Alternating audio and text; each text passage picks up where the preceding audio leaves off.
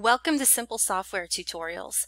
In this video, I'm going to show you how to use Resume Assistant inside of Word to create an amazing resume.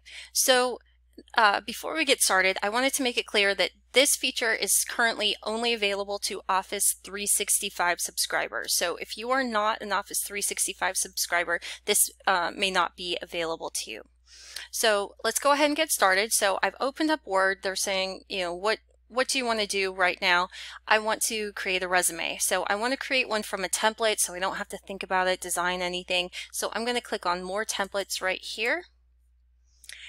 And they've got a lot of templates here. I can click on resumes and cover letters, or I can just click on resumes if I'm not worried about a cover letter at this moment. So it's going to populate tons of different resume templates here for me to work from.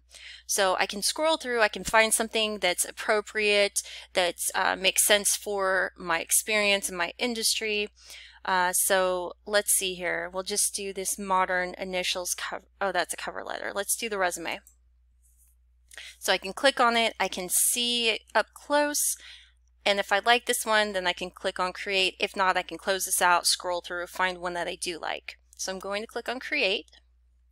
It's going to import this into um, into Word here for me. So I can go through, I can update this information.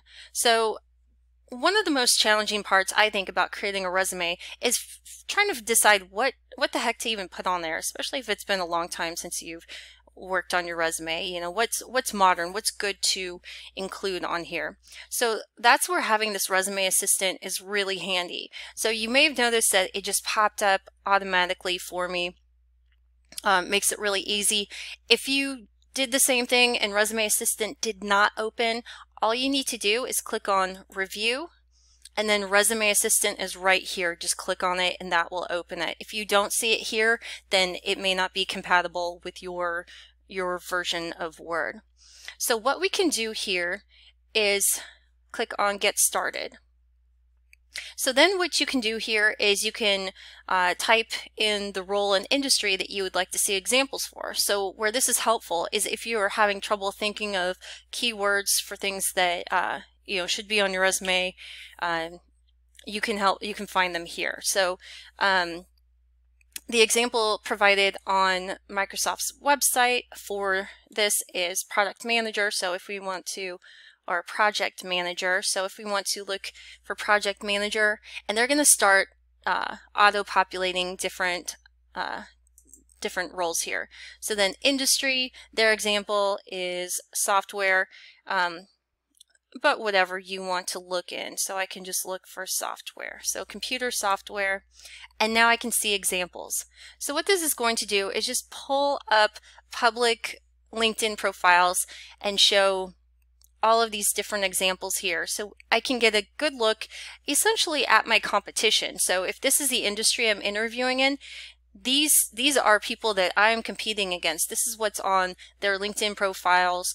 Um, these are the skills that they're presenting on there. So I can take a look and see, okay, do I have these skills? Do I have this experience? And I can see all sorts of ideas here. So it's a really interesting way to find some good quality content to put on my resume, to um, see what other people are putting on there. Um, and as a, as a, as a guidance of what I should put on mine. So I can, uh, right here, I can add bullet, you know, bullet points if I want to for things that I did. So if I did some of these things, I can put them on my resume. So I hope this was helpful. Um, check out the Resume Assistant uh, in Microsoft Word. Really helpful in getting some good keywords for what you're looking uh, to put on your resume. You can also filter examples here. So if there are top skills, so say that um, you're really good at, uh, I don't know, at software development, you can see what people included on their LinkedIn profiles uh, in, in regards to whatever filters you use here. So I hope this was helpful.